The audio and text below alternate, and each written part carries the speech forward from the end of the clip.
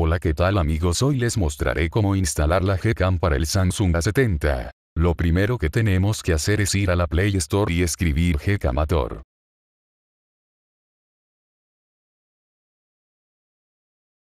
Ahora toca instalarla. Una vez que termine la instalación podremos abrirla. Esta aplicación sirve para poder buscar el mejor APK de la Gcam para el Samsung A70, así como si tuviéramos otro equipo, podemos usarla para verificar que la Gcam es compatible y en dado caso que lo sea poder instalarla. Para poder instalarla solo le tendremos que dar en la parte que marca el nombre de nuestro dispositivo, en mi caso me lo marca como Samsung SMA705MN, al darle veremos que me indica que la versión más estable es la Gcam 7.4. Presionaremos en la parte morada que dice Start Download y comenzar a la instalación. En dado caso que nuestro dispositivo no tenga permiso para instalar aplicaciones de fuentes desconocidas nos mostrará este mensaje, le daremos en la parte que dice configuraciones y le concederemos permisos. Para poder instalar aplicaciones de fuentes desconocidas. No se preocupen esta APK la investigue correctamente y no contiene ningún malware por lo que pueden estar tranquilos de que no dañará su equipo. Un pequeño consejo que les doy es que, cuando acaben de instalar la APK, vuelvan a desactivar la opción de instalar aplicaciones de fuentes desconocidas.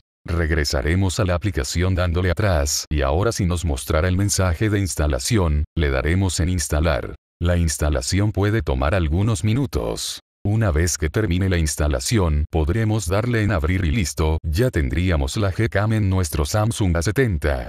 Para ver las configuraciones de esta aplicación, seleccionaremos la flecha que se encuentra en la parte superior. A primera vista podemos observar las configuraciones más básicas, como lo sería activar y desactivar el flash, así como activar y desactivar el balance de blancos automático en fin. Para ir a las configuraciones avanzadas, le daremos al engrane de la parte de abajo del menú. Aquí podemos encontrar las opciones de activar y desactivar el GPS, el sonido de la cámara, las sugerencias de Google Lens, los gestos, usar la cuadrícula, indicar la resolución de las fotos, como muchos más, el uso de todas estas opciones dependerá de cada uno. Entre los modos de cámara principal tenemos, fotos, el modo noche, el modo retrato, grabar video. Y en la sección de más encontraremos los modos de foto panorámica, foto esférica, cámara lenta y timelapse. Todos estos modos funcionan correctamente. Por otra parte en la cámara principal encontraremos algunas configuraciones extra como lo sería iluminación para selfies el cual usar el brillo de la pantalla como un flash, retoque facial para mejorar las fotos.